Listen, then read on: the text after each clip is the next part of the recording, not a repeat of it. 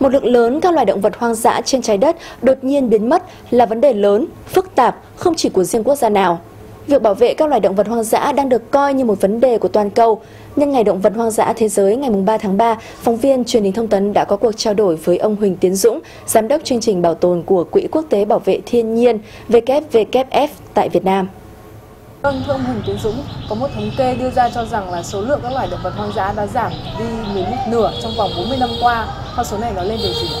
Theo cái nghiên cứu của WWF ấy, thì trong 4 năm 40 năm gần đây thì cái số lượng quần thể của các loài mà giảm đi hơn một nửa và 99% nguyên nhân là do cái tác động của con người.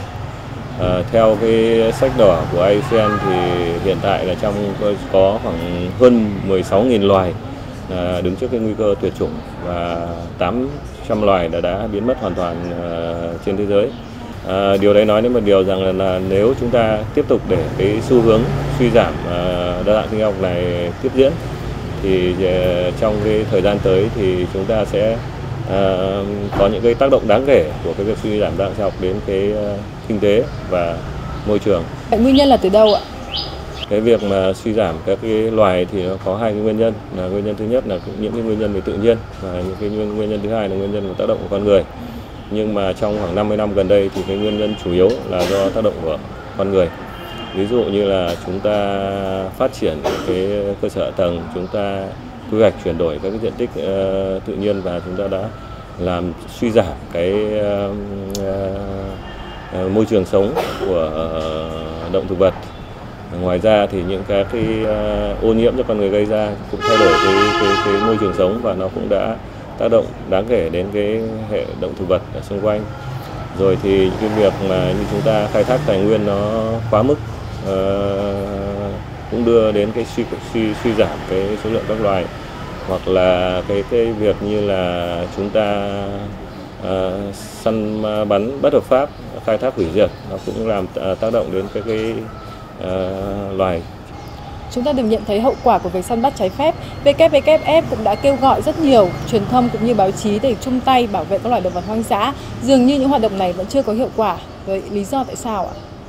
Cho đến nay thì ờ, chúng ta thấy là cái xu hướng thì các cái loài vẫn giảm nhưng mà cũng có thể nói rằng là nếu không có những cái uh, um, can thiệp không có những cái uh, hỗ trợ hay những cái uh, Ờ, công việc của những cái tổ chức UF thì cái xu hướng nó còn giảm à, mạnh hơn cho nên là để mà đạt được những cái ờ, gọi là cái thành quả nó nó tốt hơn thì cần cái sự hợp tác chung tay của nhiều cái cái ờ, đơn vị tổ chức cá nhân cũng như là các cái ban ngành cơ quan của nhà nước.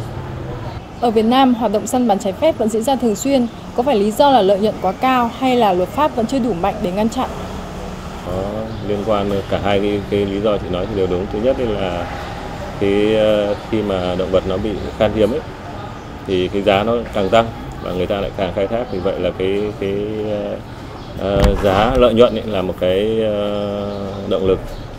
Cái thứ hai nữa là do công tác thực thi pháp luật của chúng ta nó chưa chốt chưa nghiêm tốt chưa nghiêm minh thì cũng có thể là tạo điều kiện cho người ta săn bắn khai thác. Nhưng mà đặc biệt là à, cái người dân Việt Nam ấy, vẫn còn rất một số người vẫn còn có cái thói quen tiêu thụ động vật hoang dã.